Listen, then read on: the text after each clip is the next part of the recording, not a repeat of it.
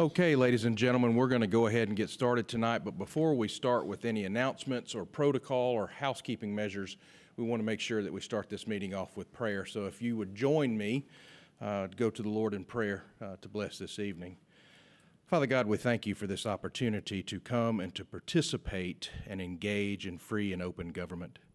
We ask, Father God, that as Uh, members of this community are out on the roads tonight, that they would get home to their families safely in this weather. And Father God, we thank you for this weather. We ask that you would bless Douglas County. We pray, Father God, that you would lead, guide, and direct our efforts in this community so that the quality of life of our citizens would be a blessing to others. We may do this all to the glory and blessing of your name. We ask these things in Jesus' name. Amen. Also, I'd like to, uh, before we get started, uh, pledge allegiance to the flag of our country. Uh, if you are a veteran, uh, would you please lift your hand so that we can recognize and thank you before we get started?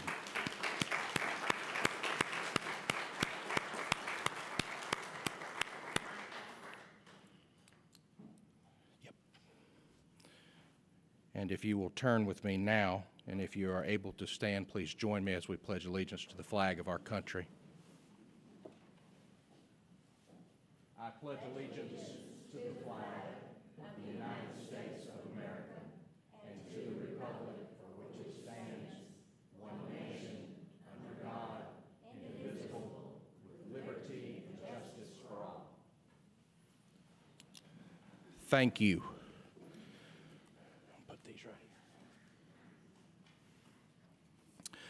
Well, my name is Micah Gravley.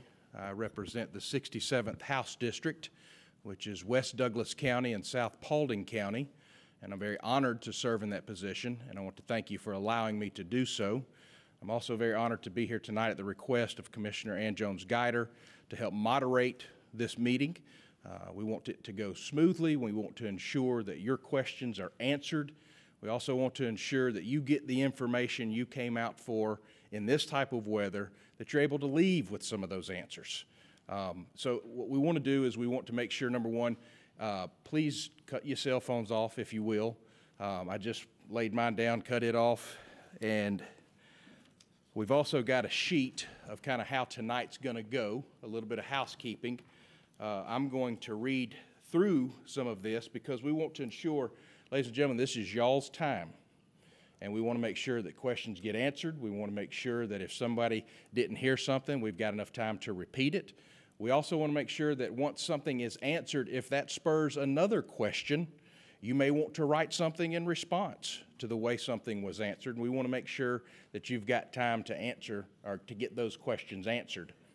Um, but before we do that, I do want to recognize uh, Douglas City Councilman Richard Siegel is here with us tonight.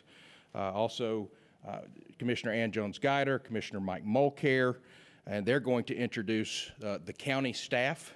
Uh, but we also want to say thank you to our Douglas County Sheriff's Office personnel, to our law enforcement. Thank you so much for what you do for us on a daily basis, and thank you for taking time to be here tonight as well. It means a lot. Okay, we're going to get started. Um, first and foremost, uh, as we go down our sheet that was passed out, and if you don't have one, uh, please, uh, okay, just I have one, so I'm going to read what I have to you all. It says, All commissioners have been invited.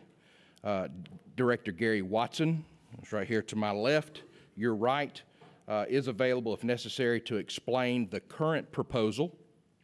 Questions about the new proposed system and routes will be submitted in written form from the audience, all during the meeting. In case you have a question about an answer, please raise your hand and someone will get you a pen and paper to write a question that may have been spurred by one of the answers. Each response will be limited to two minutes, no more than five minutes, correctly? There will be no rehashing of past events, attacks on either side directed at the commissioners, staff, or attendees will not be allowed. Please let's keep our applause to a minimum, no applause, cheering, or shouting so that we can hear the questions being asked and so that those being asked the questions can answer appropriately and correctly. Please be respectful to everyone. And remember this we're all neighbors. We all go to church in this community. Our kids go to school in this community. We work in this community. Let's act like Christians and let's let the Lord be praised and blessed tonight, as we said in our prayer. And let's be neighborly. We can disagree and still be respectful. Uh, handouts of the original plan uh, are, are distributed, or I think are on the back there. If someone needs to get an original plan, they are available for us tonight. Maps and handouts will be distributed on what the current proposed system is. And as you can see, there's four maps uh, back here. If you have a question about the maps, Commissioner uh, Guider and Commissioner Mulcare will direct you on any questions that you may have about the, the maps, as well as uh, Gary and Miguel. Make sure we got it. Okay, it must be noted, um, and this is an important fact, this is an important aspect of tonight. It must be noted that some of the four routes highlighted at the recent town hall meetings conducted around the county have changed. Okay? The new proposal was brought to the Board of Commissioners this past Monday. We're talking about yesterday or Monday week. So it's, it's just a week old. And finally, just, just last, yesterday, a week ago. Okay, and we will attempt to answer all questions and as many questions as time allows. Uh, the meeting will go no later than 8 p.m. I will not be answering any questions that I'm going to be moderating tonight. Um, I've already gotten wet, so if anything's thrown, just make sure it's a sponge or something soft, uh, and I'll, I'll, be able to take it. Uh, and again, questions will be submitted throughout the evening. So if you have one, we'll be Miss Kim Ravenscraft is down here. She is going through the questions. Uh, she is not removing any questions. She's simply putting those that are similar in nature together so that we can read those simultaneously. But I want to make sure everyone knows no question that's been submitted is going to be removed. Okay, we're going to try to get through as many as possible. So at this time, I'm going to turn it over to Commissioner Ann Jones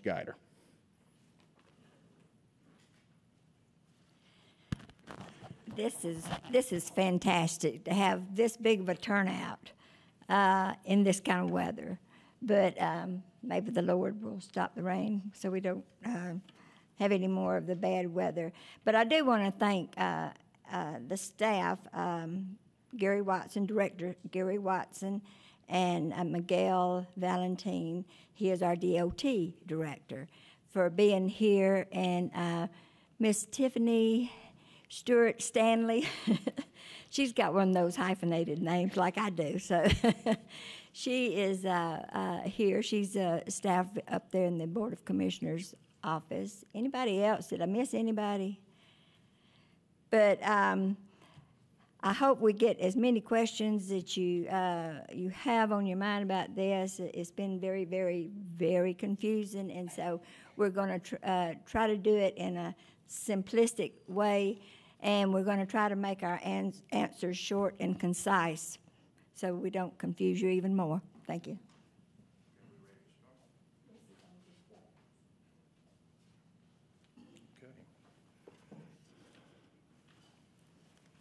So we're going to get started with the first round of questions, and you said it was on disabilities. Okay? Uh, so the first question is What would the advantages be for a dial a ride system over what is being proposed now? And I'll read that question again. What would be the advantages what would the advantages be for a dial a ride system over what is being proposed now?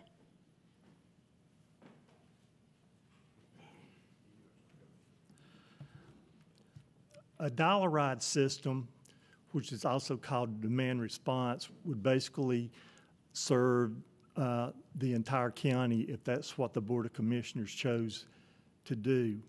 Uh, with our fixed route bus system, it it serves specific areas and doesn't go into the entire county. Now, with the fixed route bus system, there is a required ADA component, and so individuals with disabilities or seniors who live within three quarters of anywhere on the route would be able to, to be certified um, for the ADA service. And that service would be door-to-door pickup from, for them and would be able to carry them to a bus stop or to any location within the zone uh, of the, uh, around the routes. So that's, that's the main difference. Dial Ride would probably serve the whole county and be door-to-door. Fixed routes serve specific, specific locations and has a, a limited uh, ADA response.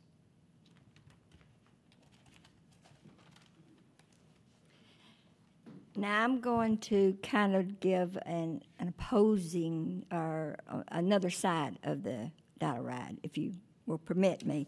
I hope all of y'all picked up one of these sheets. It's got the highlights and everything. Um, in 2015, the Board of Commissioners did approve to start at the low, smaller recommendations from the transportation study. This is a list of, I think, Gary, you, you produced this, did, did you not? Okay, okay. Uh, but this uh, came out of um, the multi-modal division. But down, if you look at number five, it says um, down at the bottom, realistic projects for 2017 would be planning for flex zone bus service and dial a ride demand response. It was in the original plan, as it is, I, well, I think it may be in this plan too, but it was in the original plan that the Board of Commissioners passed that incorporated the two routes. And uh, Commissioner Mulcare, if you want to add anything. No, just, my recollection is it was, it, the two, the two, I think I'm projecting loud enough by the time they get to the microphone. Oh, I didn't know it was being taped, okay. Um, I don't necessarily remember a, a dial-a-ride being incorporated in, in the, the grant, the, the uh, two-route grant that was originally submitted to ARC. This, this was the Nope. recommendations from the study. The recommendations, okay, yeah, that's, uh, that, that's accurate, that's accurate, yeah. mhm. But you mentioned the two routes, so I got it.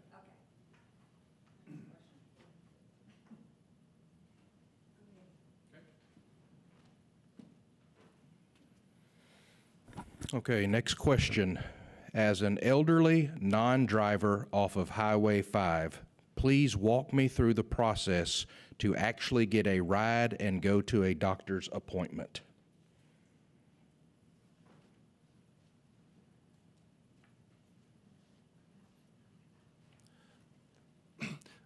Well, depending on how far down you live on Highway 5, the fixed route bus system won't be able to serve you.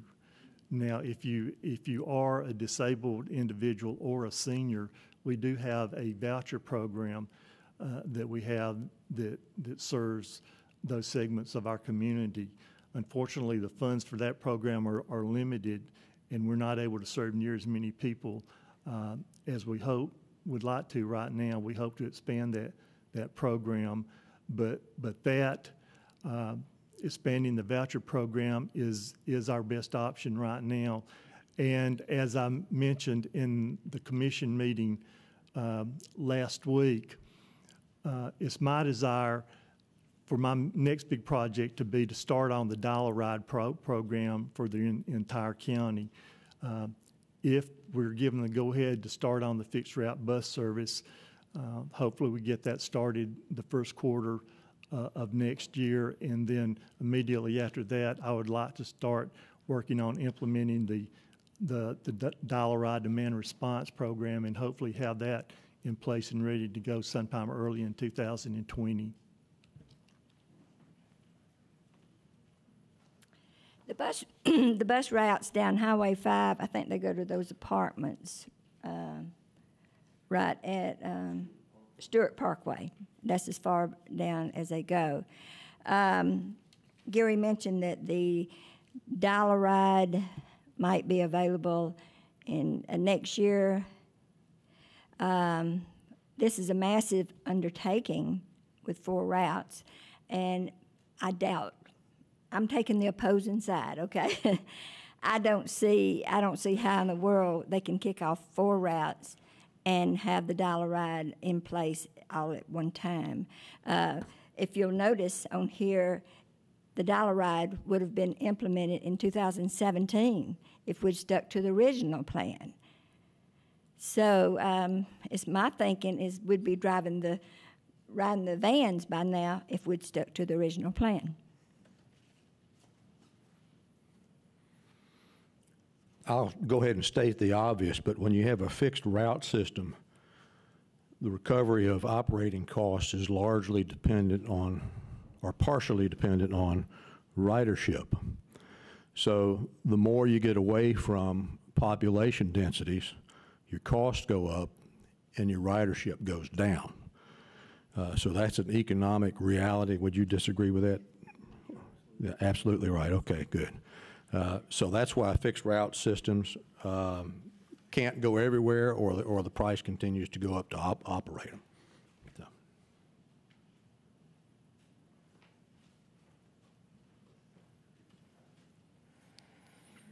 Okay, this question, many areas of Douglas County could benefit from a transportation system, but are not targeted in the current plan. For example, Corn Crib and Sanctuary Village will not have any access to the current transit plan. What steps are being made to address these high-need areas?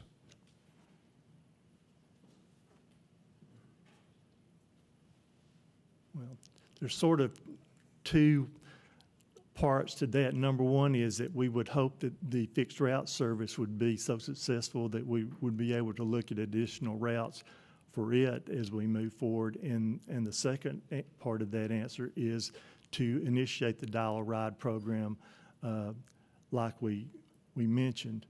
And I, I, I do want to, to say that the, when we did the study, and this is all I'm going to say about the study, is that the first two recommendations for the, uh, in the study was fixed route service was number one, dial a ride service was number two.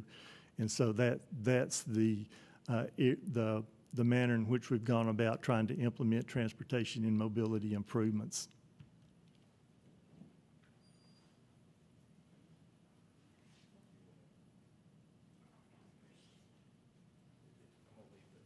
In case you want to review it, that's the question Okay, right. I'm sorry. Um, I learned about the new routes this past Monday, not yesterday, but uh, past Monday. No one gave me a call.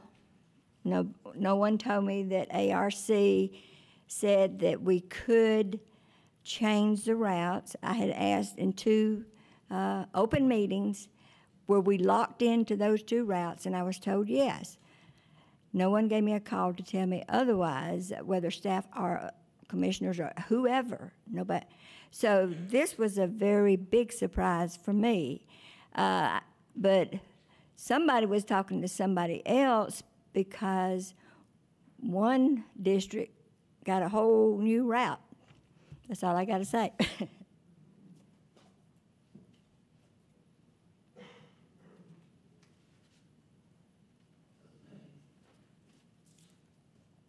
And if, if while uh, the questions are being answered, uh, if you have, if that spurs another question, remember, uh, Mr. Sparks has a basket, and if just raise your hand, he'll bring you a pen and paper on that. How is the current four routes proposed going to actually help elderly and handicapped citizens?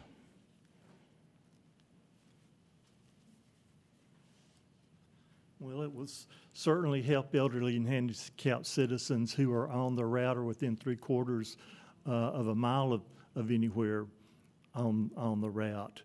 Uh, They can either get to a bus, a bus stop and get on, on the uh, bus, or again, we go back to the ADA component that is door to door for elderly and disabled who, who qualify within the, the zone of the fixed route bus service.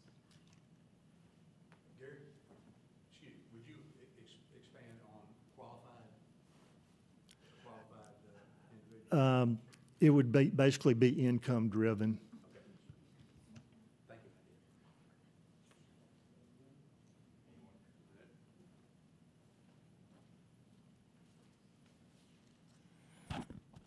Okay, this question Where is the money coming from for the maintenance of this system?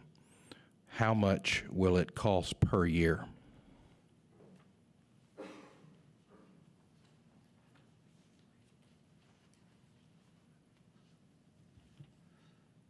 Maintenance uh, costs would be absorbed by the county, and the amount that we're budgeting or proposing uh, for the first year of service in 2019 for maintenance uh, is right at $37,000.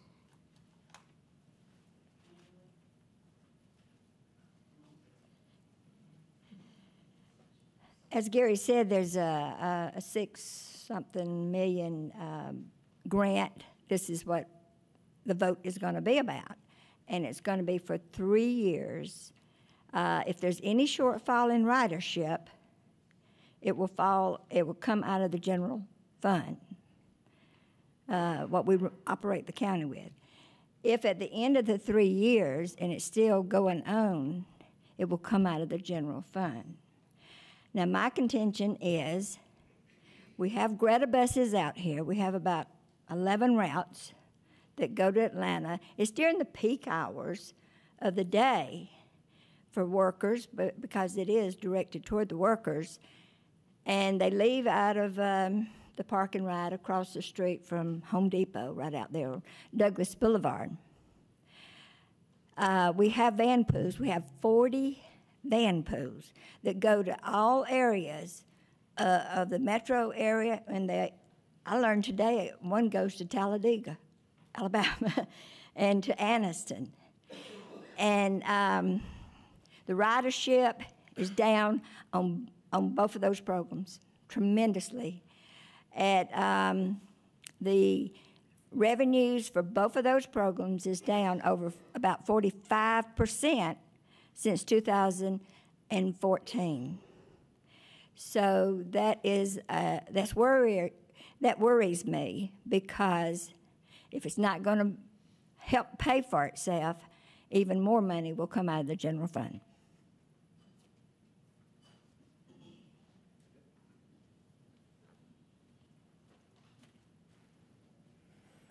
Okay, this question reads, a, a feasibility study is used to determine the viability of an idea, such as ensuring a project is legally and technically feasible, as well as economically justifiable. It tells us whether a project is worth the investment. In some cases, a project may not be doable. In the spirit of getting this transportation system right, we must do a feasibility study. Will you commit to a proper feasibility study?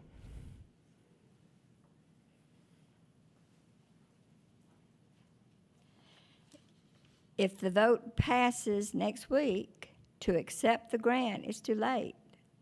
Um, however, in the transportation study back in 2015, they did give us estimated costs of levels of service that we could implement.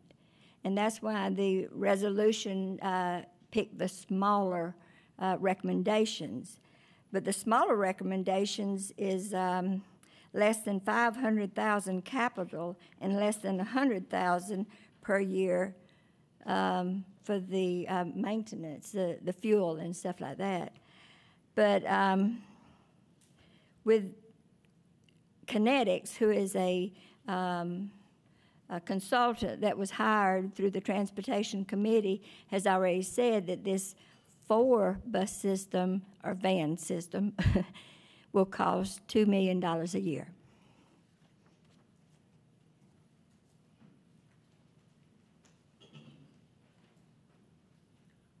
I'm not going to get up every time and just say ditto. Uh, Okay, and if I disagree, I certainly, uh, certainly will get up. Um, I do think, uh, across the, the broader perspective of, of discussions and how this whole process has, has uh, uh, unwound uh, and revealed itself, uh, I do think in the future, uh, because Ann's right, the vote is next uh, is next Tuesday. Uh, if it passes, it's done. If it doesn't pass it, then, then we can go back to the, the drawing board. Um, but uh, The, the fact that I don't think the, the full commission had engagement uh, with a lot of the processes as, as we reached uh, decisions, and I would like to see more of that in the future. Thus, you know, the commission could have asked for a feasibility study or, or, or additional da- data uh, as opposed to basically having the consultant um, work for the DOT department. No, crit- no criticism at all of, of our DOT. Uh, but I think there was a, a tendency to disconnect the, the full commission from a lot of the thought process and decisions that went on.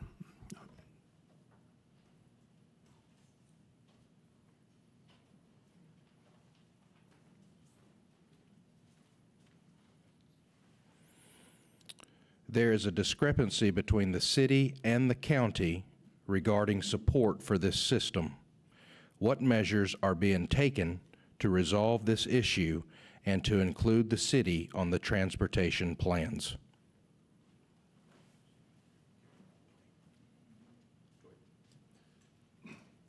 The first step was about two weeks ago.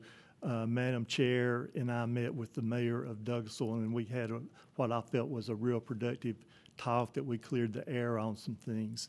And as we move forward, if the vote is positive next week, I can assure you that we will be having conversations with the city to make sure that everybody's on the same page with this. Gary, I'm going to call on you to elaborate a little bit because it sounded like we hadn't talked to the city until a, a couple of weeks ago. Uh, but the reality is, um, first of all, I think we could have done better, what, whatever we did. But what we did was proper and correct, and that is our staff worked with city staff. Is that correct? Uh, now, you could say the chairman should have reached out to the mayor earlier or whatever, but the proper operational uh, and planning uh, uh, protocols were followed with our DOT staff talking with city DOT staff. Now, once it was thrown over the wall, the county can't be responsible for what happens after, after that point. So I say there was room for improvement, uh, but we did the proper thing up to that point.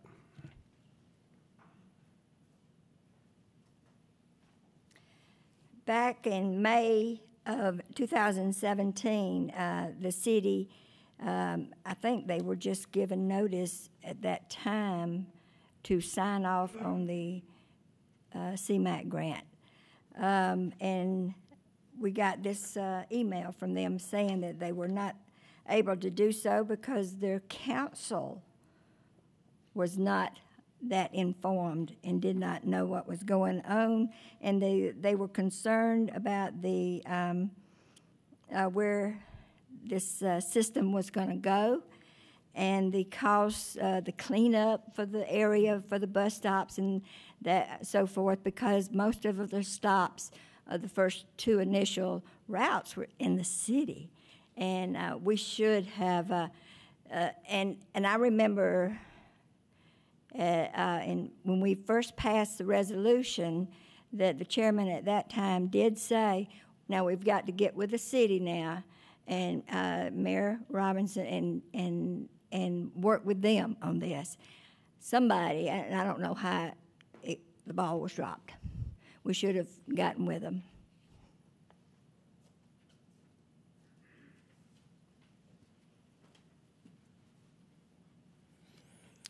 Why can't the citizens vote on whether or not to have the buses instead of leaving it up to the commissioners or to others? I'm going I'm to take this because um, we started talking about the transportation study back in 2015, the early part of 2015, and we had that study, and it was presented to us in the early part of 2016, I think. Um, so um, nobody came to the meetings. They weren't upset about was, what was happening because we, 95% of our conversation, and I reviewed all the minutes, and I'll be glad to share them with you one on one if you want me to, was about the seniors and the disabled. If you'll look on this sheet of paper that has all the highlights at the top, says target population, You notice it's not in alphabetical order across there. It says seniors, disability, commuters, students, and, and others across that. That was the priority of what, that was our objective to uh, implementing this system. A lot of people think because I'm opposing the the new system that I'm against the vans. I'm not. I was on board from the beginning because we were talking about uh, a pin-up, a pin-up population that could not do for themselves.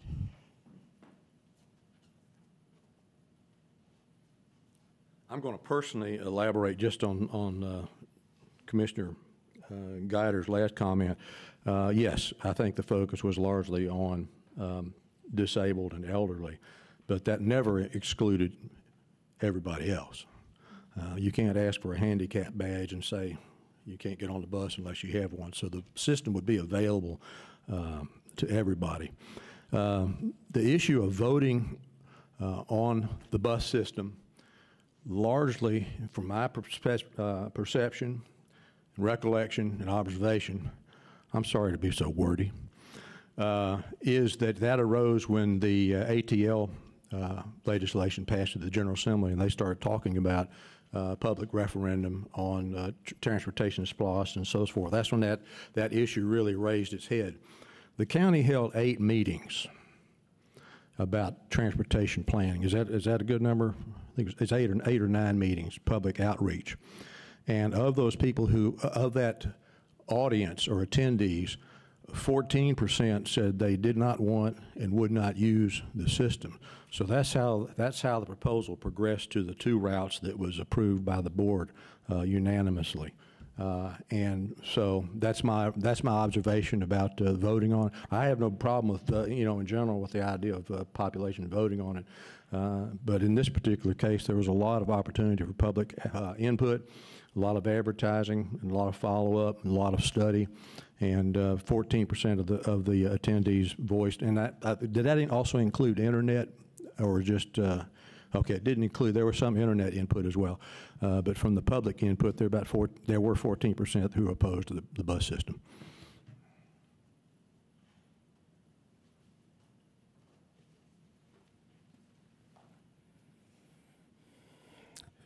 How will operation of a bus system during school traffic, 7:15 to 8:15 a.m. and 3 to 4:30 p.m., affect traffic on an already congested roads?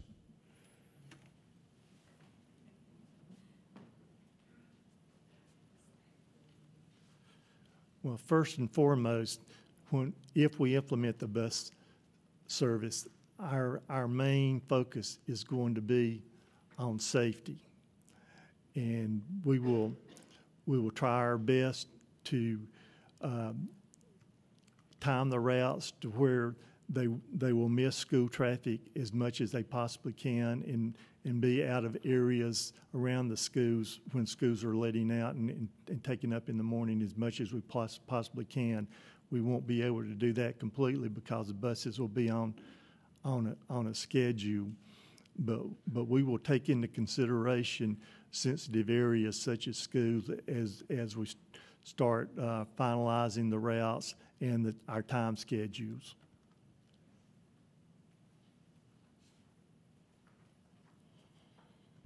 It does concern me, uh, especially during school set, um, session, and when the school buses, when they're out on the road too.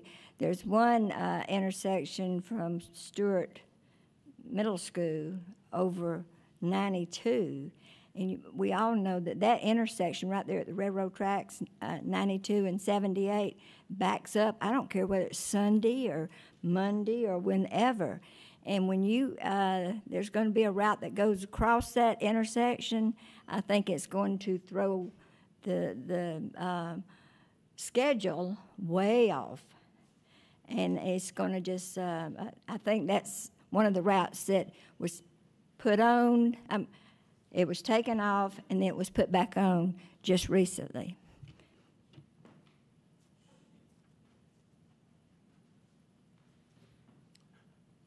Everybody remember the question? Practically, I don't, uh, practically speaking, I don't, I don't know. Theoretically, is you're taking vehicles off the road. So if a bus has got 10 people on there, maybe that's five or six cars that are, off, that are off the road. Now, we don't know what route they're going to take. So that, go back to my original answer. Factually, we don't know.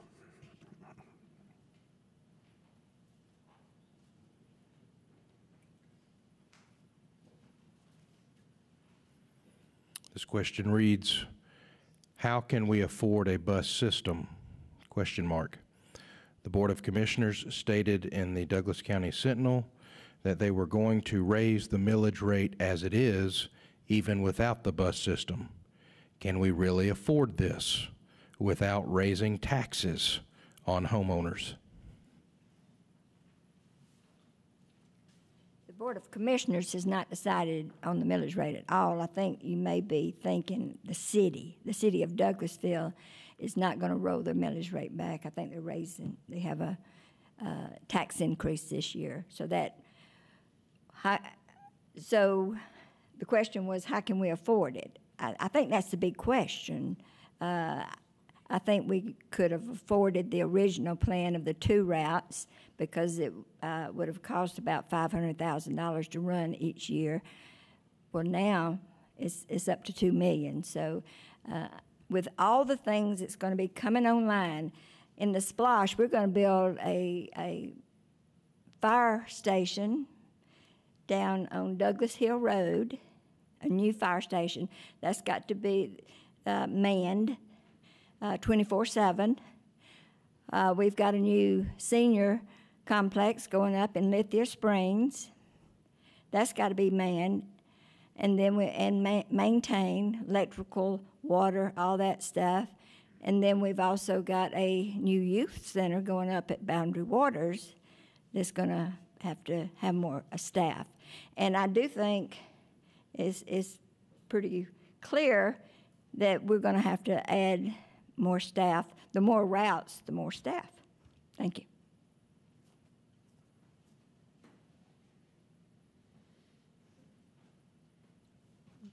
Just one point of clarification in terms of the bus system operation. Uh, We, the commissioners, uh, I I think unanimously, I think, um, never uh, supported the idea that the bus operation would be, would be staffed by county employees. It was always going to be contracted out to a, to a third party. Uh, But largely, I, I understand and agree with what uh, Commissioner Guider is saying.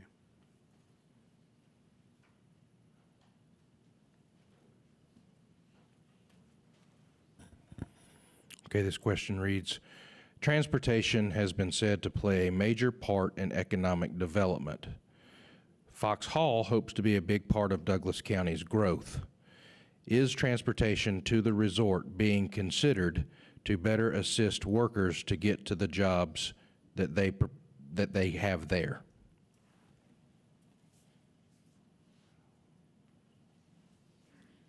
No.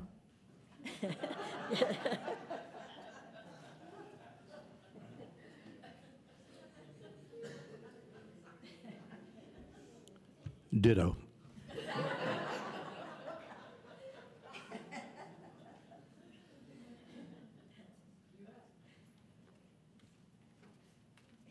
Okay, and the questions are coming in, so we're, we've, uh, we're not categorizing them anymore, we're just taking them as we get them. Uh, Why was the Campbellton Street route added back into the scope after being removed when residents voiced their opposition to having bus stops in their front yards? Can this route be removed once and for all?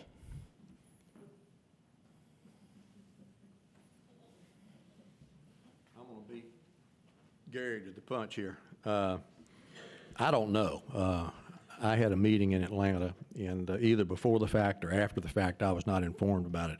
Uh, I was told by our county administrator after the meeting that it had been added back in. So I don't, I don't know why it was added back in.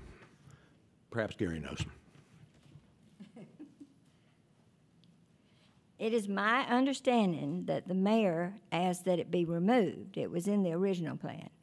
It was removed, but that on, I think, on the 19th of June, the Transportation Committee put it back in. Uh, I think because the district commissioner asked for it to be put back in.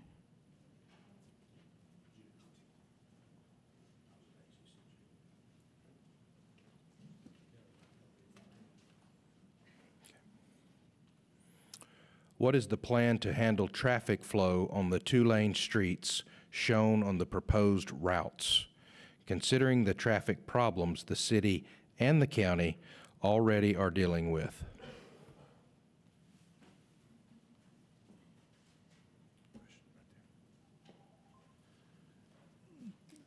I don't think that traffic flow would be in our purview on that. That would be up to the, to the city or the county or who- whoever has administration over their, those streets and also uh, law enforcement. Our responsibility in that area will- will be to operate the buses as uh, safely and as efficiently as we can.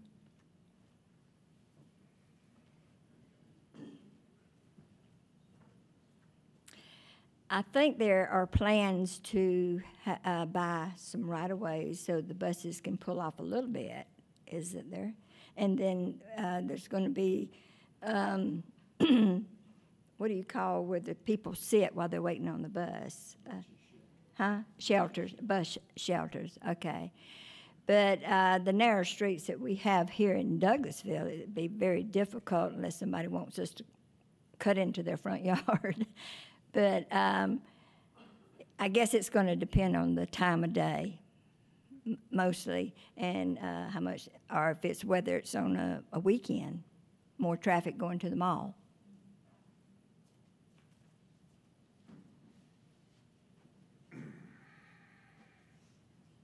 I'm gonna go up about thirty thousand feet. And so I'm not talking about this bus system. But why is so, traffic so bad? It's every place I've been, and Douglas County is by far uh, way down the list of some of the places I've been in terms of really, really bad traffic. And the fact is, we have more people, and we've got more cars on the road, and commercial vehicles, and everything else that goes along with it. How do you fix that? Well, you reduce the number of cars, you reduce the number of people on the road driving cars. And how do you do that? You provide some means of alternative transportation. Is it walking trails, which would be appropriate in some scenarios, very limited scenarios, uh, or bike trails to be able to go to the store and get a loaf of bread and a quart of milk or whatever, remove vehicles from the road. But at the end of the day, as population densities continue to mushroom, you have to have some type of mass transit. And mass transit, I may be gone, all of us may be gone, uh, but mass transit is going to come to Douglas County, and it's going to come to the regional, the whole region of Douglas, of uh, Atlanta Metro. Again, I'm not talking about this, I'm not promoting or talking about this specific bus system, but something has to be done, and it's not buying more cars and paving more roads. We'll never catch up.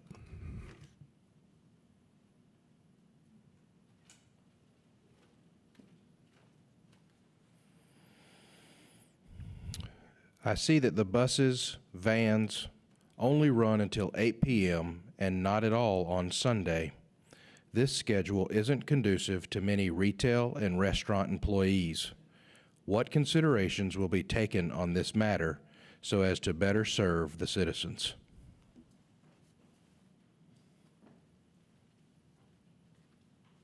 Well, certainly, that's something that we'll be looking at all, all the time uh, as we move along and, and we see where our ridership is coming from, where people are getting on the buses and getting off the buses, uh, what times uh, they're utilizing the buses.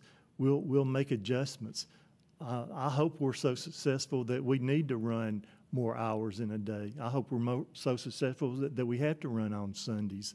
Uh, that would be great, but that's just something that we'll have to keep our eye on, uh, and we will closely follow that.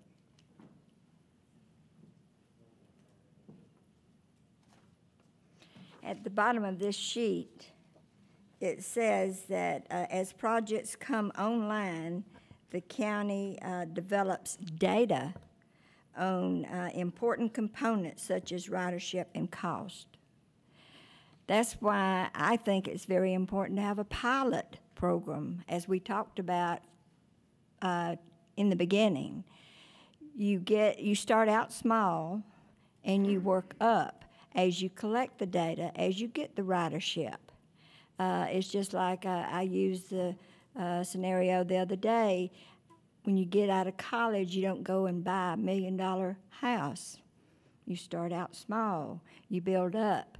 You uh, you see whether or not you can afford it. You build up, and that's the way I've always done in my life. And I think uh, it's worked out pretty good for me.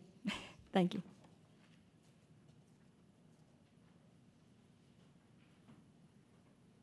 Agree. Uh, I'm not a big conspiracy uh, aficionado, but uh, uh, it, it makes you wonder if a bus system is worth having, why it's not worth having seven days a week. And certainly, other places I've been, Saturdays and Sundays, they may have a different schedule than they have Monday through Friday. Uh, But the idea that we could just not operate at all on a Sunday um, makes me wonder uh, if that was a way to recalibrate or calculate the uh, operating cost uh, downward. Uh, So I don't know. Doesn't really matter. Just a thought.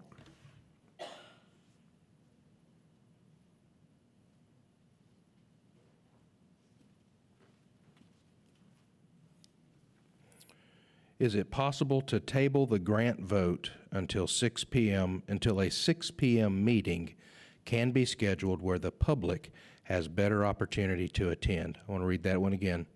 Is it possible to table the grant vote until a 6 PM meeting can be scheduled where the public has better opportunity to attend?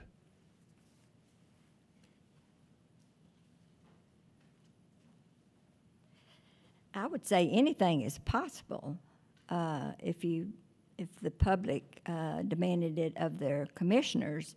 Um, It was originally going to be voted at a 6 PM meeting, and it uh, got changed just pa- uh, this past Tuesday.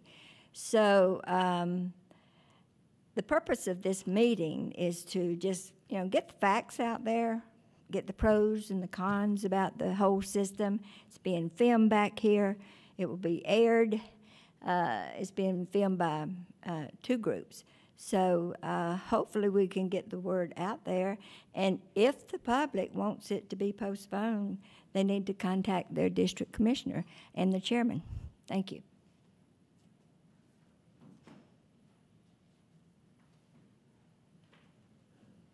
Just to elaborate with a little more detail, uh, yes, the vote was going to be uh, in an evening meeting, uh, the first commission meet, uh, yeah, first commission meeting of this month.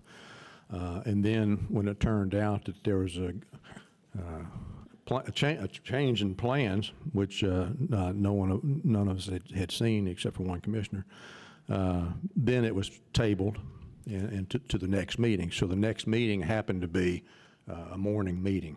Uh, But I have no problems with, with evening meetings. I've been promo- proponent uh, of that. I tried it my first year in, in, uh, in office, and nobody came, so I didn't have a leg to stand on. Thank you.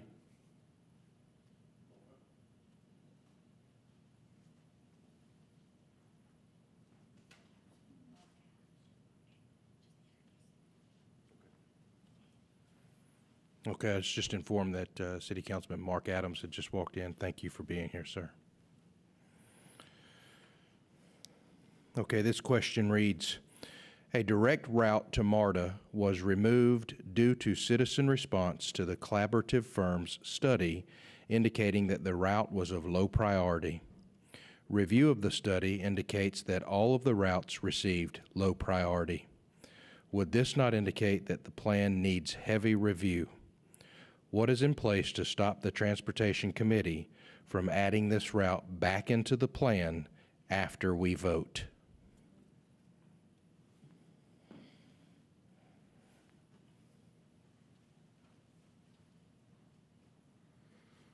The uh, public input was helpful, uh, but clearly we were stuffing the ballot box uh, by the people who are engaged in opposition to uh, the bus route in general, and specifically the uh, the MARTA route.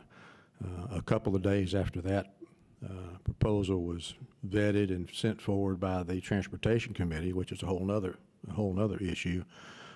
I voiced my opposition and told Commissioner Robinson that I would not vote to support a route that went outside the city. That's a regional uh, responsibility. This is no secret. I told the chairman the same thing. Uh, that's a regional route. That's a Georgia and Georgia State and, and regional operation, uh, not incumbent on the on the county and the county taxpayers to support. Uh, so I think the adjustment to the route system was perhaps to garner a vote uh, among the among the commissioners, uh, and um, but certainly the public output was helpful in supporting that position.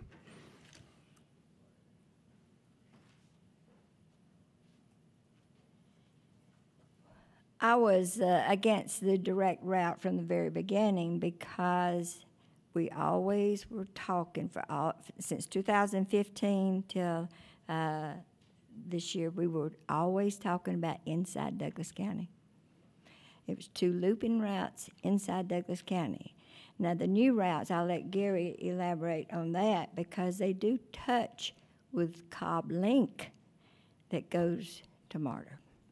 Um, ATL, this ATL is a renaming of MARTA. Uh, it was a bill that was passed in the legislature, and um, there's a lot of counties that, like Gwinnett, I think Gwinnett passed, uh, you know, that they're going to have a vote. Um, don't know what, I tried to find out what Cobb County was going to do, but um, they have it um, we just couldn't get in touch with the right people and everything. But I do know when they were going through their budget process that the first things they were going to cut were uh, were routes because they nobody was riding them, and they've got they've had a system over there for a long time. So, but I was always against the direct route. Anytime you wed yourself with somebody else, you're going to get the good and the bad and um, crime is a is a problem. Um, I, people people have said, "Well, what do you expect them to do? Come out here, steal a TV, and get on the bus and ride back?" No, but I do expect drugs and uh, things like that to be coming out here.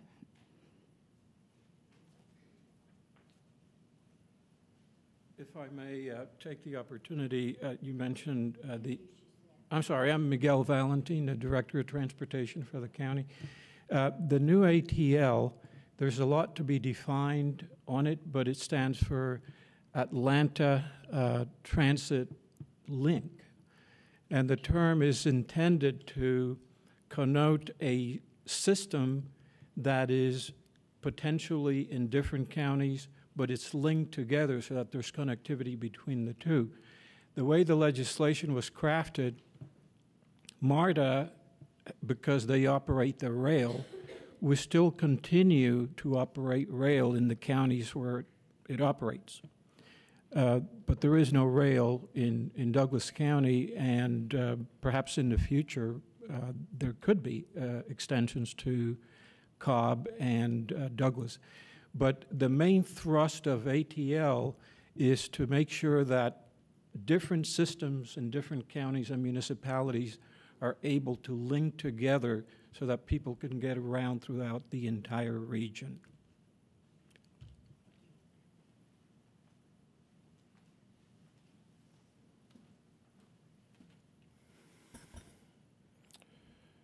If the bus system is third party, what oversight will be in place and who will it go through? I'll read that again. If the bus system is third party, I'm assuming is managed by a third party, what oversight will be in place and who will it go through?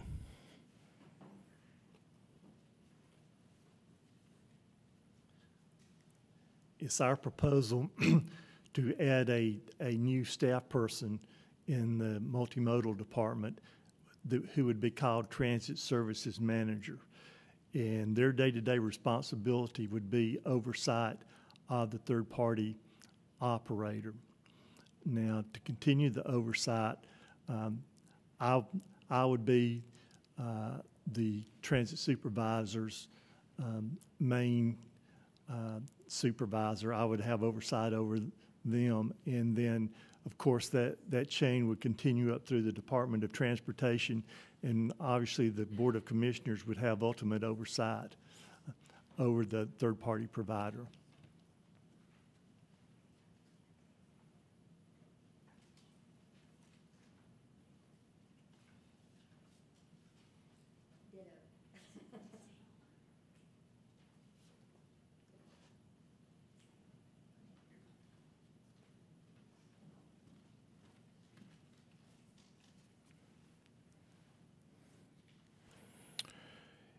Is the bus system already a definite?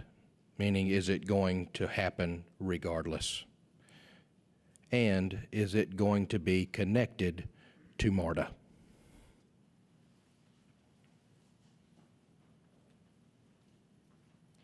It is not definite as of tonight. Once the vote is, is, uh, if, once we have the vote to either, to accept the CMAQ grant, then it is definite. Uh, the routes that are proposed right now touch CobbLinc, and they go to MARTA. Is that right? And you can elaborate if you want to.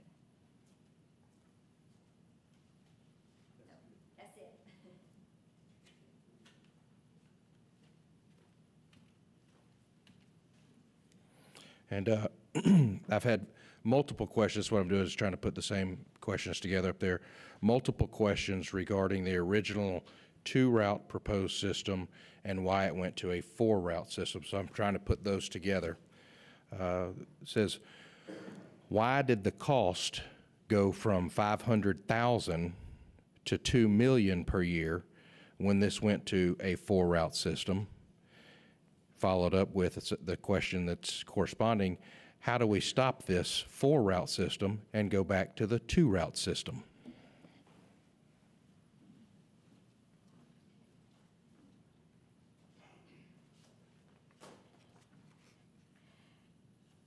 We applied for the CMAQ grant for the, two- with the two routes.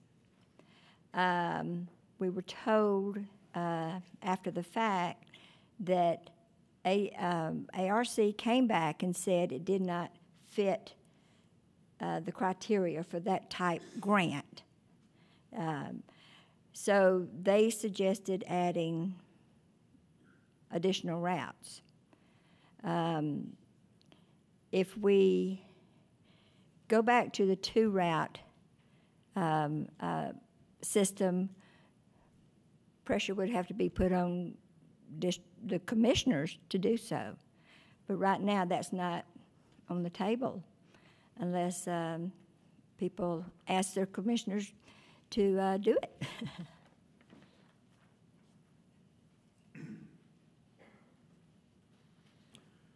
Talking about the two-route system, as we uh, initially approved it, forwarded to the ARC, it was, uh, my recollection, it was $8 million, and uh, it was two routes.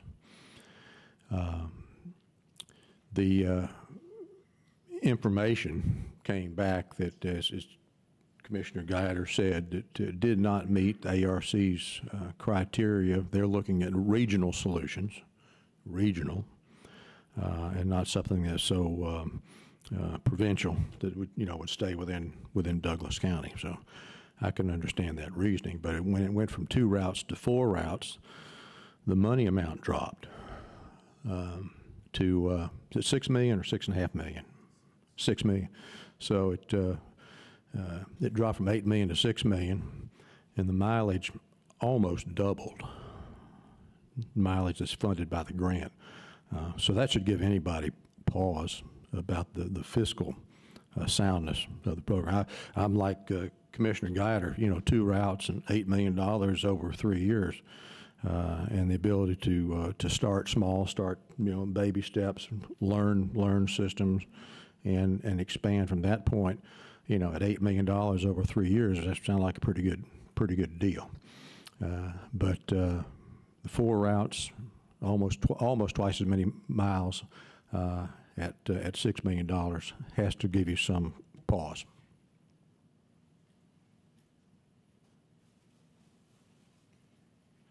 Second thought.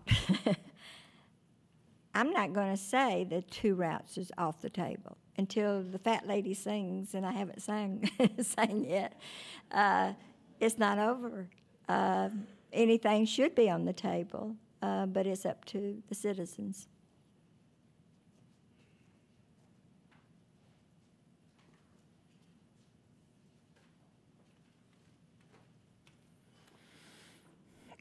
Okay, we've got another one that's, questions are similar, so we'll read them into one. What demographics are being considered when determining these bus routes? And what priority? This was originally marketed for elderly assistance. What has changed? Corresponding question, how many handicapped or disabled are within three-fourths of a mile from the route limit? Is an elderly person who lives three-fourths of a mile expected to walk to a bus stop?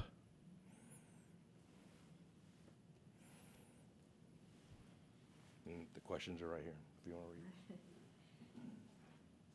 That would be the purpose of the dial a ride. Uh, over in Carroll County, they have implemented a dial a ride uh, system. They've, they've got, I think they said they had six buses, and you make an appointment to be picked up at your door um, 24 hours ahead of time, and then you can either get a round trip ticket or for, uh, for six dollars or a one way ticket for three three dollars. Um, I was told the other day, just recently, that the buses were full. That, that vans, they're really vans, just like what we got, but they're they're full because they're addressing people that don't normally drive. A lot of elderly people do not drive outside their neighborhood. They may go to a grocery store, but then they go home. Um, this um, new system, it doesn't even address the western side of the county. I, uh, out at Mirror Lake, you know, Mirror Lake's in my district. Uh, it's in Douglas County, but it's in my and it's in my district. But right across the street from Mirror Lake on Connors Road is a huge um, senior citizens complex. This isn't going to help them. This is not going to help people. One lady came to the meeting the other day and said she attends uh, New Mountaintop Church in Winston. It's not going to get her to that church. Um, there were most of the people that came up and spoke at our uh, public speaking uh, before the meeting the other day. The original two route system would have addressed every one of their requests. They, most of the requests was about seniors and the disabled, and that was on that was the uh, like I say, 95% of the conversation in our discussions was about that population. And, um, but the dial a ride is the only thing that's going to truly address the issue about being picked up at the door.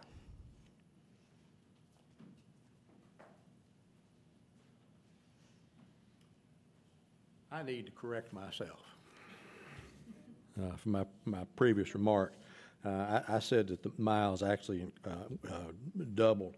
Uh, If I'm any good at math, uh, the original two route systems were 35.4 miles, and the uh, amended CMAQ grant, the one that's active right now with, with the uh, uh, Holmes MARTA station uh, terminus, is uh, 94.6 miles. Uh, So that's a little short of uh, uh, three times uh, at uh, $2 million less money. Uh, So that's, that's where the, my, the fiscal concern comes from. When the proposed amended, or is it the amended proposed, I'm, I'm getting myself confused, um, it came up in last, uh, last commission meeting, uh, where the direct contact with Holmes MARTA Station was, was removed. I mean, that was, a that was a step in, in the right direction. But the problem is, uh, those, those uh, mileages were just allocated to other routes. So it ended up being just about the same number of miles. Uh, And I was looking for a commensurate reduction in the total number of miles with the removal of the Holmes uh, MARTA route, and that did not happen. So, thank you for bearing with me. But the miles were only made up in one district. And that's, that's my contention about this, uh, the system is not addressing uh, the entire county and the needs, especially for the seniors and the disabled. It's not addressing all. You know, uh, we're supposed to pass laws and pa- uh, start programs that are for the common good of the people. This is not common good, it's just a select area, mostly the west, uh, the eastern side of the county, and, and uh, here, right here in Douglasville. Southern part, you know, it, it doesn't affect you, except you're going to have to pay for it. And then the western side, it doesn't affect you, but you're going to have to pay for it.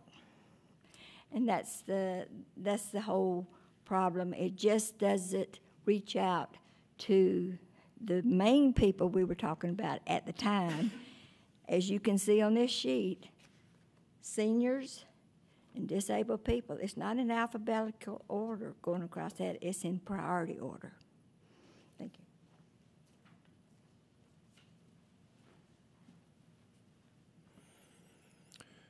I understand the buses will be paid for by a grant. Once the grant runs out, how will they be paid for?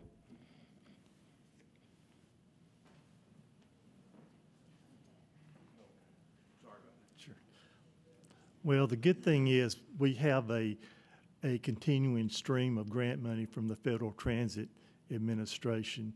Um, We, we will continue to have money available for capital projects such as, as vehicle purchases, construction of facilities, things like that.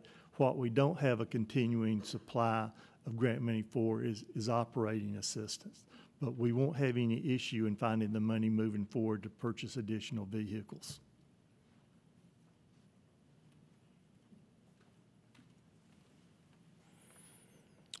Has our Transportation Committee or Board of Commissioners put any consideration into failing ridership or falling ridership for area bus systems? For example, Cobb, DeKalb, Cobb and DeKalb transits. Is this project ever had a feasibility study actually completed?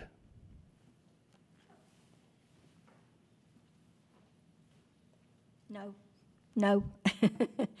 but um, a lot of the transit systems, uh, the ridership is down. Uh, like I said, when Cobb County was uh, 50 million in the red with their budget, by the way, they did have to go up on their taxes this year. um, but they were 50 million in the red, and the first thing they wanted to cut was the uh, some of the routes that were not helping to pay for themselves. It never will break even, but the hope is is it 25 percent? Yeah, that they that they bring in revenue of about 25 percent to help offset some of the costs.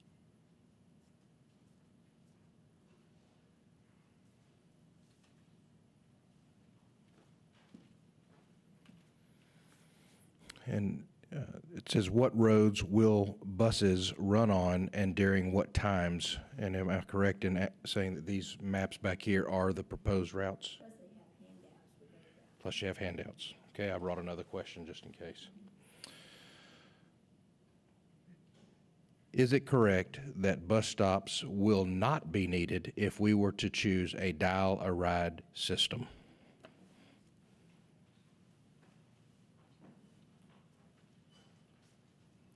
Yes, that's, that's correct. Dial-A-Ride is door-to-door service.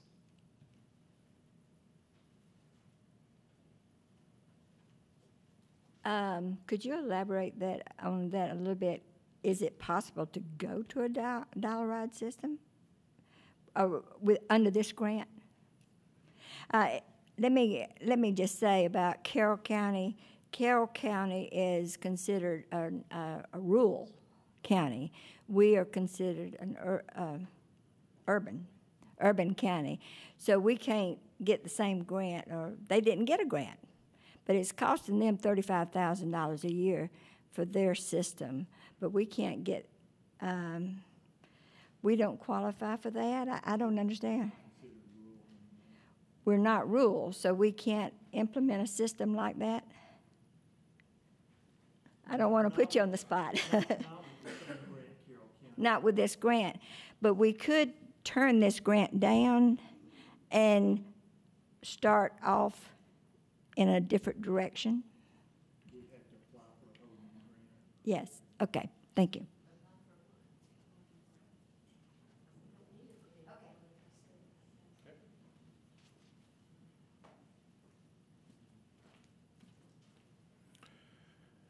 How do you justify spending general fund monies on buses when the transportation services that we have now are underutilized? Our parks and roads are in bad shape. Can we fix them first?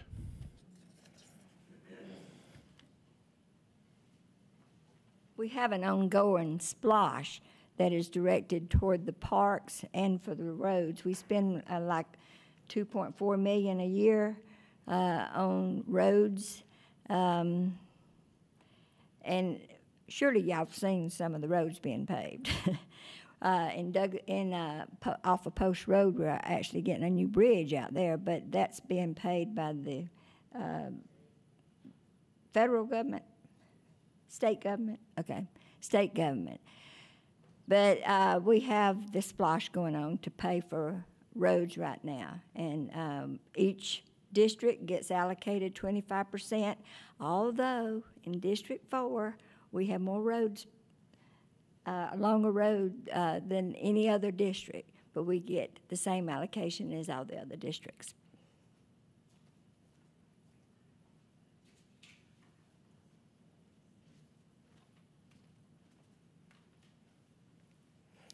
Again, trying to put multiple questions that kind of have the same theme and tone together. Um, Will any of these bus lines connect to the H.E. Holmes MARTA rail, MARTA line? And the question was asked, what would keep the Transportation Committee from re-adding the direct connectivity to the MARTA rail system? I don't believe that was answered.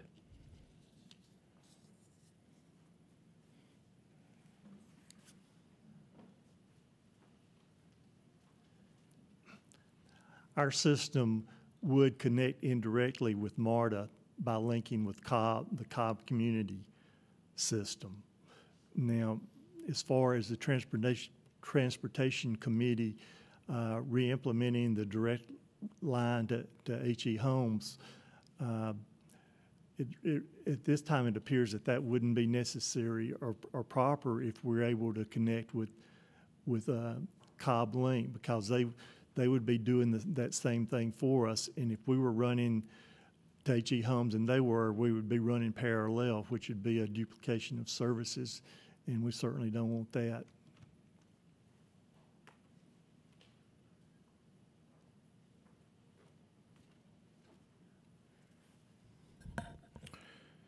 Carroll County has 500 and, 504 square miles with a population of 110,527. Douglas County has 201 square miles with a population of 132,403. Carroll has 17% less population than Douglas. Yet Carroll has 2.5 times the square mileage of Douglas. Carroll has a very economical dial-a-ride system why can't Douglas County do a dial a ride system?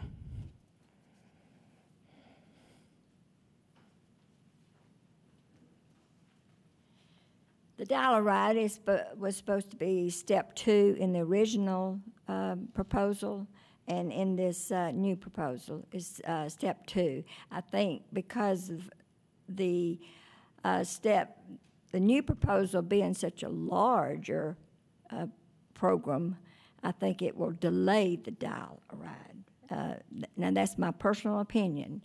Um, the dial a ride system would be ideal um, because it would address the disability, uh, people with disabilities and with uh, uh, the seniors. Pick them up at the door, drop them at the door.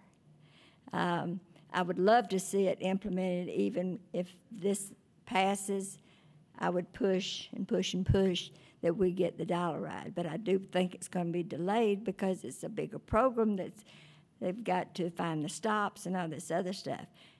Um, a while ago, when we were talking about connectivity to Cobb Link, I think one of these uh, routes actually goes into Cobb County, or it goes, it picks up uh, people from apartments that's in Cobb County. I, I had asked him that before, but I don't know that we got an answer. Well, in, in order to make the connection with CobbLinc, we may have to, to squeeze over into a portion of Cobb County. And as uh, the apartments that uh, Commissioner Guider is, is talking about, it's on one of the roads that we have to go up to get to our Blair, North Blair's Bridge Park and Ride Lot, which is in Douglas County. So it, it being public transportation, we could pick people up uh, at that, that apartment complex. But this, this revised um, Lithia Springs area route, it's, it's certainly not intended to run up and down the roads of Cobb County. But we do have to go Uh, through a small stretch of Cobb County to make that link with the Cobb system.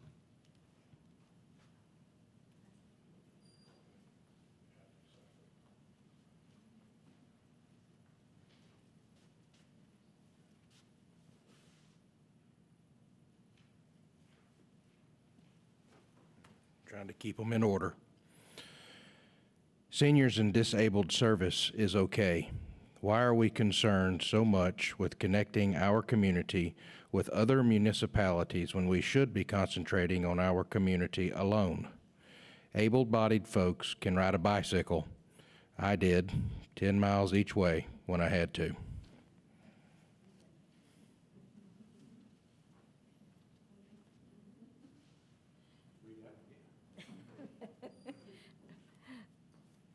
Well, the hills around here are not good for riding bicycles, I can tell you. and the curves, yeah. Uh, we don't have bike lanes either. Um, I'm not necessarily for connecting to other uh, uh, bus systems um, until we get our intra-county bus system up and going. Is that question up here? Yes. Right here. Oh.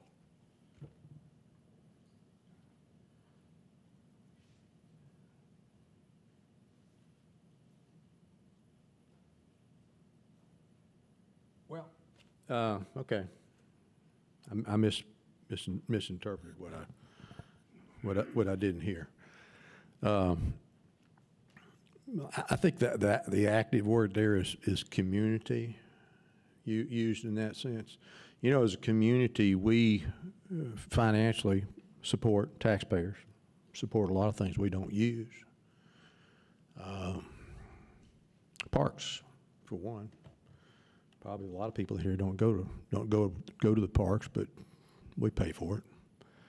And uh, libraries, probably a good number of people here don't go to libraries, but we, you know, we support it as, as a community. And so I think uh, at the end of the day, transportation solutions are borne by the community for the benefit of all, although individuals may not benefit. Um, so that's how that's how I would answer that. We, we, we pay for a lot of things we don't use in Douglas County, but it's for the, it's for the community at large.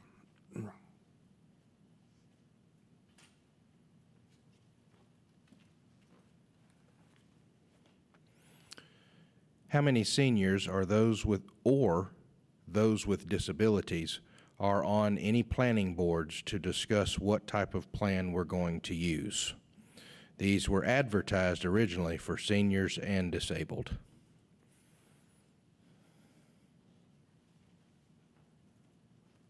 I don't know of any, and that is a good suggestion, uh, that we should have people with disabilities on some of these uh, committees, um, or, or have input into some of the decisions made on their behalf.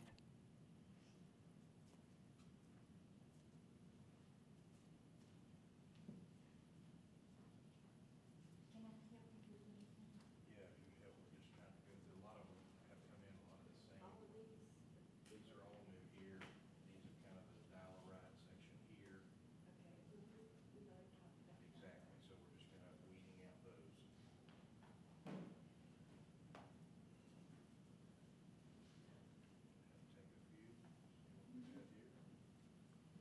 Uh, to speed things up, we're going to just kind of take some and, uh, and, and just, uh, answer them, okay?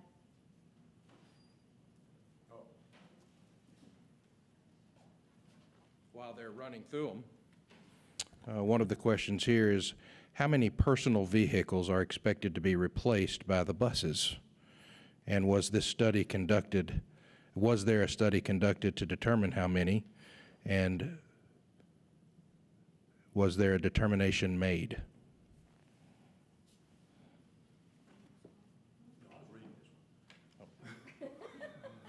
We'll let him do it. Yes, ma'am. I don't have any specific numbers on that. I will say that the, the grant that we're trying to get approved now is called Congestion Mitigation and Air Quality. And this particular grant uh, that we're applying for, along with a hundred others in the Atlanta Regional, they go through a considerable bidding process and a, a grading and scaling process. And they must have a, an air quality positive impact uh, before they, they will be awarded. So while I don't have the, the complete numbers, we wouldn't be getting the grant if it didn't have a positive impact on air quality.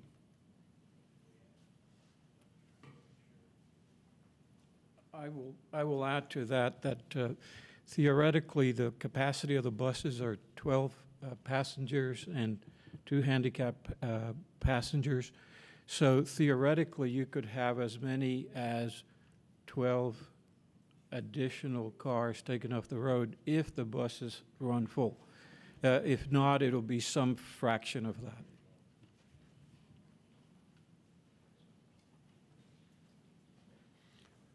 I did contact my BOC chairman and district commissioner with no response. What else can I- a citizen do?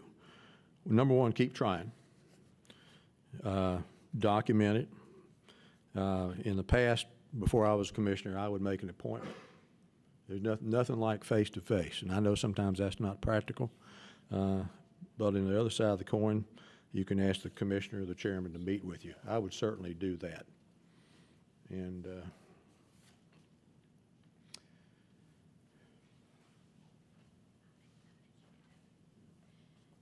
We've got several up here about the dial-a-ride. Um, it seems like there's a lot of interest, and I'm glad to hear that. Would it be possible to fund a dial-a-ride system for two to three years without a grant? Uh, it would probably take a, at least four to six buses, and for thirty-five thousand dollars, it is costing um, uh, Carroll County. I would say yes. We've already got four buses, don't we? Why are there alternative forms of transportation that could better satisfy all citizen needs not being considered, such as dial-a-ride? I think we've already answered that. How much uh, money will the dial-a-ride charge an individual rider? Uh, over, all I can tell you about that is over in Carroll County, it's three dollars for one way and six for round trip. And how can we, the citizens, sue to prevent the Board of Commissioners? I better not answer that. I may have to be, be listed in that lawsuit. Um, I can't read the writing, I'm sorry. Ode to reason, the whole thing. I think this is about a lawsuit, so I'm not going to answer that one. Okay, thank you. Let me touch on, on uh, one of the questions that you had, and uh, I- I can't, I can't, re- I can't rephrase it, but uh, al- alternatives uh, in transportation. And uh, some of you, or most of you, know that I'm, I'm a big proponent of, of trails. And uh, I- I'm, trails certainly are are recreational, and they're rehabilitative, and they're educational, but they're also economic development tools. And there are a lot of places where you have the density where people don't have to get into a vehicle to go to the grocery store or go to a dentist appointment. They can actually ride a tricycle or, or a bicycle. Our um, Livable Centers Initiative, which goes down Fairburn Road all the way to the river, uh, includes provisions that when the de- developers build something, it could be mixed use, it, you know, I, I don't know what the future holds, but, you know, it could be, uh, um, big box stores, it could be, it could be apartments and condos and houses and, and everything, restaurants, everything in between. The ability to, to access those amenities without getting into a car is, is essential. And uh, we have that, already have that in place with our development code. This particular question is, do you really expect anyone that owns a car to give it up to ride the bus? Well, my wife did for 12 years. Uh, she worked at Georgia Pacific downtown, drove the car to the, our transportation center, and then rode the bus, for, as I said, for 12 years uh, down to her work. Uh, so yes, I do expect some people to give up the car. It, it- can be a money-saving thing. Uh, but what about people who don't have cars?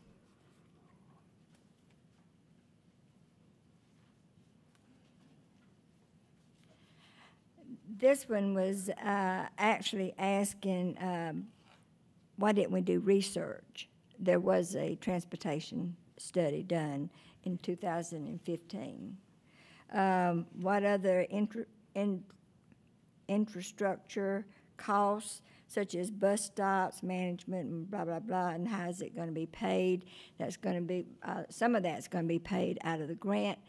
Some of it cannot be paid out of the grant, and could you tell which ones would, cannot be funded through a grant? Well, cer- certainly infrastructure type things like passenger shelters, benches, trash receptacles, all of that we'll be able to um, pay for with grants. Now, as far as um, maintaining those areas, making sure the trash is picked up and things like that, uh, staff would be responsible for, for that. And that would have, you'd have to consider that part of the cost of, of additional personnel for the bus service. And that would be general fund? General fund, yes. And um, how can money be absorbed by the county for maintenance by not raising our taxes?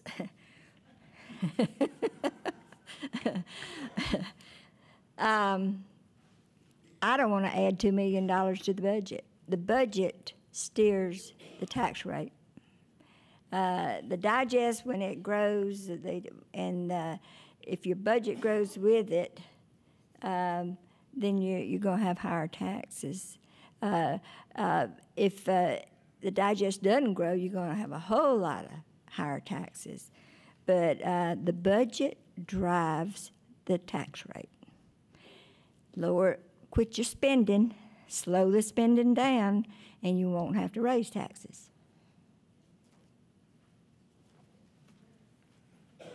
Okay, so is it correct that the cost when the CMAQ grant runs out will have to be picked up by the taxpayers? Oh, you gonna finally give it one? You come up here and get it. Oh, that- Y'all bringing them to me, so. Uh, Certainly, I'm going to ask Gary to elaborate about, about the funding, funding mechanism process, but uh, certainly the the potential is for the, the county taxpayers to uh, fund the bus system after the grant runs out on the assumption that we don't have some sort of re- renewal uh, of some type of uh, federal and state grant, which is a, a good possibility, but absolutely no guarantee in that regard. But it'll, it'll end up uh, in the uh, general fund. Anything you would add, Gary? God, didn't know how to do so well.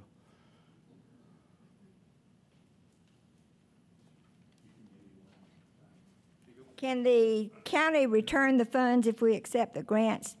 No. No. Once you accept it, it's, it's a done deal.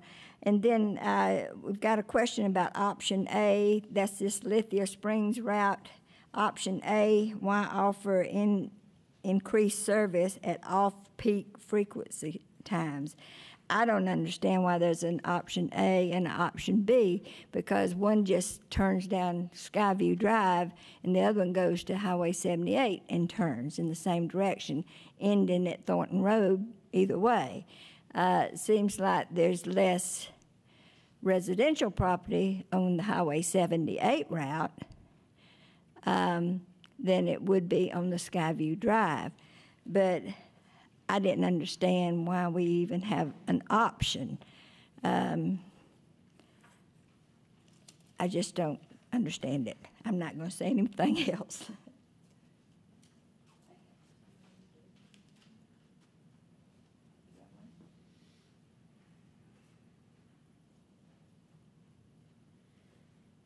I'm going to ask Gary to cover this because it talks about uh, O and M, and I'm not sure the, the numbers are accurate. The original bus plan was a.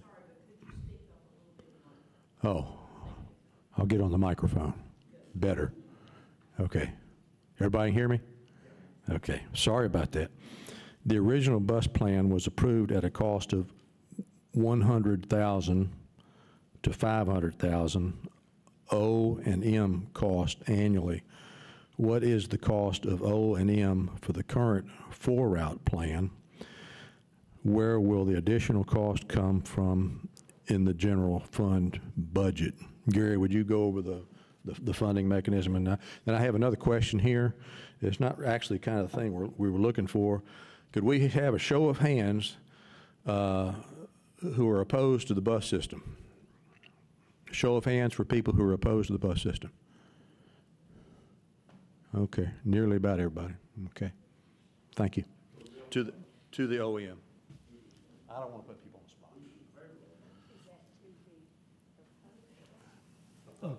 Okay, the, the, the budget that we were proposing for the first uh, year of op- operation of the system um, amounts to two million twenty-one thousand eight hundred and fifty dollars. Um, Of that amount, about one point six million dollars will come uh, from the, the federal grant. Um, So the, what's left of that amount, uh, passenger fares would cover part of that. Uh, The industry standard is that your passenger fares typically cover about twenty-five percent of your operating costs. We hope we will reach that mark. We don't know if we will or not.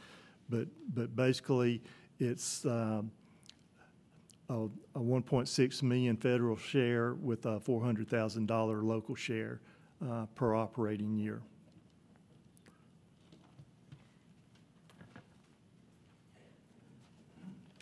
A statement was made at the Board of Commissioners meeting that everybody already knew what they were voting for or how they were going to vote on this. So what was the purpose of this meeting?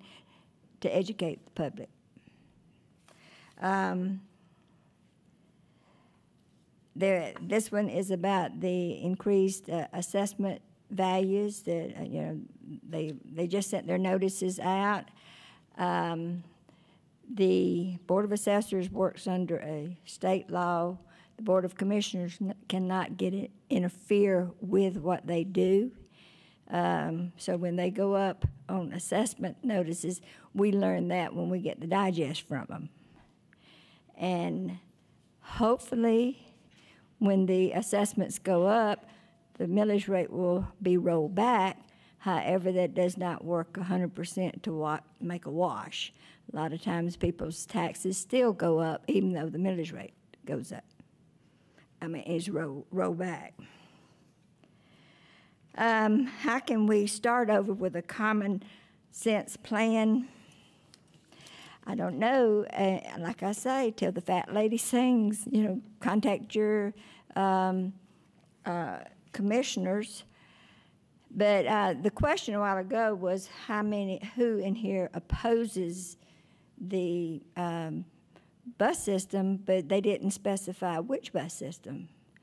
I'm going to ask for two different votes. Who in here would be okay with the original uh, plan two route system? Okay. Who would be, uh, who is for this new system, the four route system? Okay. Um, so, from what I saw, it appeared that most people in the room was okay with the, the original routes.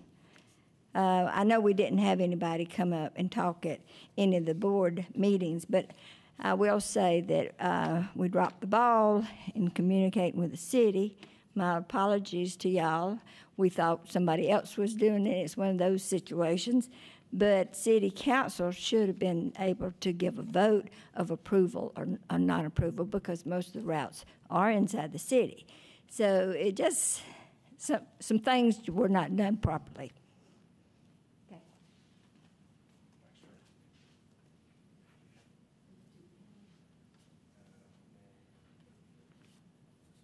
They saw me sitting there, they're loading me up. This question's for, uh, I think I probably just need to go to uh, Gary and see if he has any information. What will be the forecast of costs based on Cobb buses? Does that go to the 25% uh, recovery ridership and?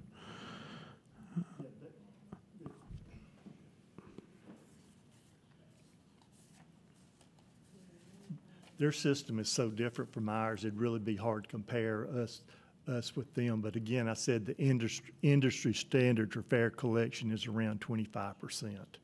That's across the board with everybody. Okay. Uh, Why do you, anyone, think we need to go out of Douglas County for our services? Uh, I'm talking, I'm, I'm gonna interpret that to mean to go out of the county with, with bus services, if you'll, if you'll oblige me.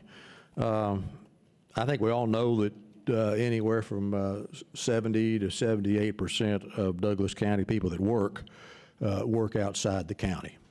And so that's where the buses eventually need to go in terms of a regional system uh, to uh, connect into the ATL, the, the uh, Atlanta Transit Link. Uh, It's just because so many people work outside of Douglas County. And will they give up their cars? I mean, who knows? Uh, Is the objection to public transit or to going about it in a disorganized, or to going about it in a disorganized, erratic, and amateurish way? That is, building planned around on the ability to get free buses rather than a well-designed plan that first determines specific transit needs then reviews feasi- feasible means of provide, I guess, providing, providing them. Uh, Fair criticism.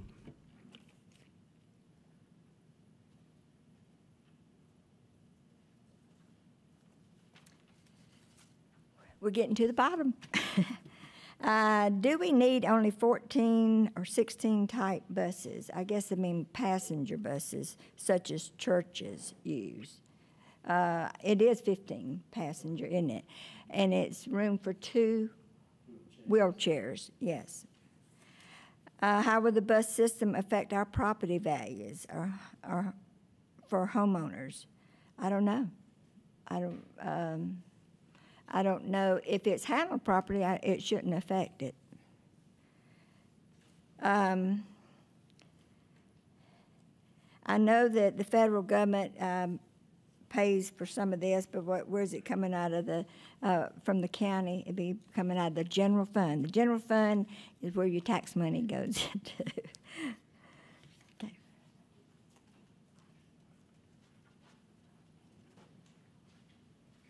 This, uh, this seems to be kind of a statement, but I'll, I'll respond to it uh, like it's, a like it's a question.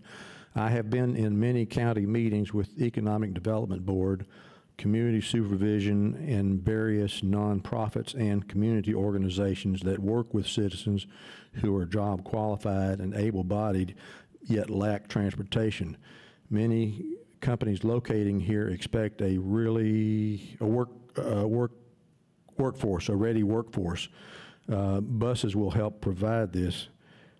And it says, uh, and I'm sorry, I can't read the rest of it, but uh, I, I get the gist of it.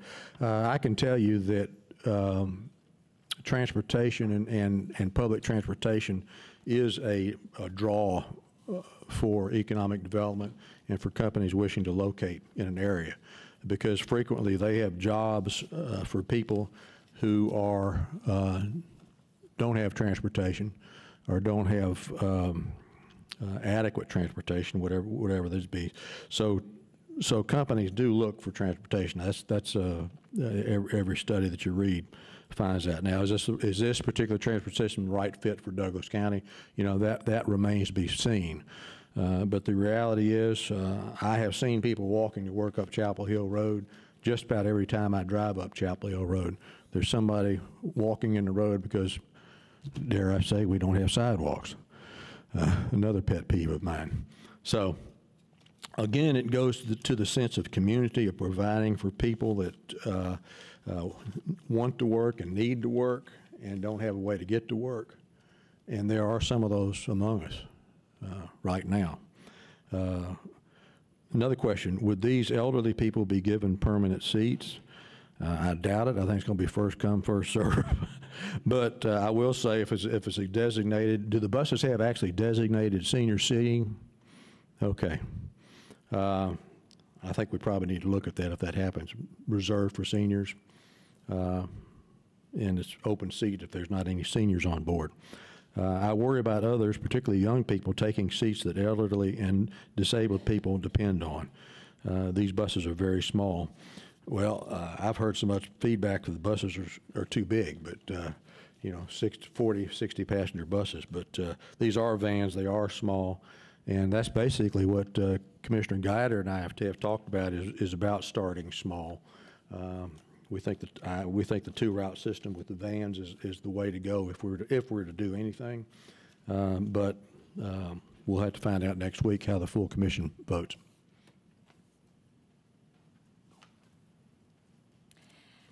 Last one. We, we're gonna make it. Um, we promised to get you out here uh, by eight o'clock. Um, this really equates the uh, property downfall, you know, the recession that we went through with our property values, losing values, because peop- many people bought houses they couldn't afford, and they're saying, we're buying a bus system we can't afford. So, uh, I can only say that's my argument. Uh, I just don't think we should jump into the deep water till we know we can swim. and so uh, I, I am, I've advocated all along. I was okay with the um, uh, two routes. However, we did not incorporate the, the city in, in their uh, feedback. We didn't do a lot of things right on it, but we can't undo what we already done. But I would uh, favor a two route system if the public wants it, if it's directed. And I'm concerned about the buses too, that the commuters or people going to the mall that are not the seniors, the seniors are going to be pushed out of the way. They're not going to they're not going to be able to ride if they can't get to the bus stops. So that's a, that's a concern. But um, uh, I hope this has helped clear the air on some of the things that you hear, you see on Facebook, this, that, and the other. I hope it's helped to answer your questions.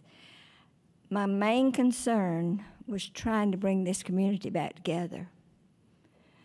This has this has uh, created a chasm between our county people that's far the buses and, and not far. But as you saw a while ago, some of them's okay with a smaller system that will accommodate all the elderly and all the disabled.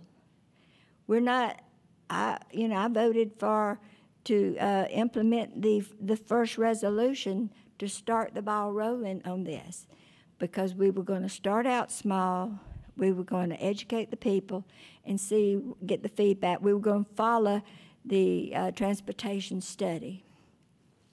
But what I, whatever we do, there's going to be a pro or a con vote coming down the pipeline. But don't let Douglas County be the loser in this. Do not let this separate our county. We need to work together. We need to remember we're neighbors, we're all neighbors, and that we need to come together on other issues, this issue, uh, whatever. But let's don't let this anger us to the point that we we we just um, start uh, down the wrong path. We need to uh, respect other people and um, just take it to the Lord because I, I truly believe that we need to get on our knees and, and pray for uh, love and trust and respect to come back to this county. Thank you.